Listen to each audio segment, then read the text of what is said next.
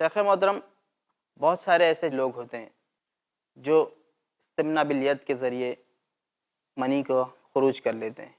تو ایسے لوگوں کے لیے کیا وعید ہے؟ روزے کی حالت میں یا روزے کے علاوہ بھی؟ اولاً تو روزے کی حالت میں اگر کسی نے ایسا عمل کیا ہے تو اس کا روزہ فاسد ہو جائے گا۔ جی۔ اور استمنا بالید یہ بہت ہی بری بیماری ہے جو۔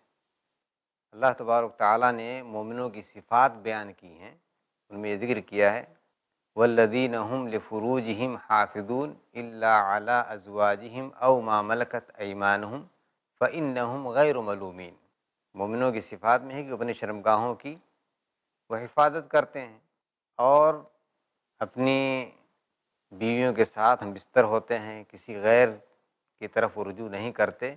وہ لوگ ملامت زدہ نہیں ہیں اور جو لوگ اس کے علاوہ جی عمل کرتے ہیں یعنی اپنے شرمگاہ کو ناجائز طریقے سے استعمال کرتے ہیں وہ لوگ ملامتی لوگ ہیں اللہ لعنتی لوگ ہیں۔ تو یہ جو فعل ہے یہ فعل بہت ہی قبیح فعل ہے۔ اس سے آدمی کی عبادت ضائع ہو جاتی ہے یہ بڑا گناہ ہے۔ اس سے ہمیں اجتناب کرنے کی ضرورت ہے۔ اور جو لوگ بھی روزے کی حالت میں ایسا عمل کریں جی۔ تو اور زیادہ برا ہے۔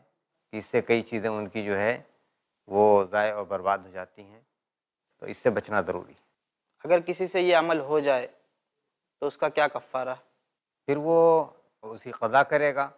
اس پر بھی وہی کفارہ لائق ہوگا نہیں کفارہ صرف جمع کے اوپر ہے۔ کفارہ صرف جمع کے جی ہاں اس جی۔ میں دوسرے طریقے سے خروج کے اوپر جی۔ کفارہ نہیں ہے۔ البتہ یہ ہے کہ اس کی قضا کرے گا اور اللہ تبارک تعالیٰ سے توبہ استغفار کرے جی۔ اپنے اس غلطی پر۔ اور اللہ تبارک تعالیٰ سے معافی مانگے۔ جزاکم اللہ خیر شیخ محترم بہت بہت شکریہ آپ کا۔ بارک اللہ فیکم۔ اللہ کے دین کی دعوت اور لوگوں تک پہنچانے کے لیے اس ویڈیو کو ضرور لائک شیئر کمنٹ اور سبسکرائب کریں۔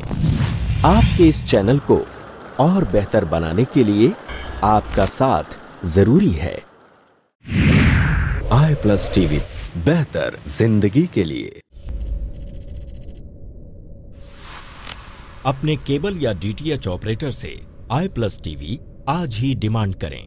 I plus T V free to air اور انڈین رجسٹرڈ چینل ہے۔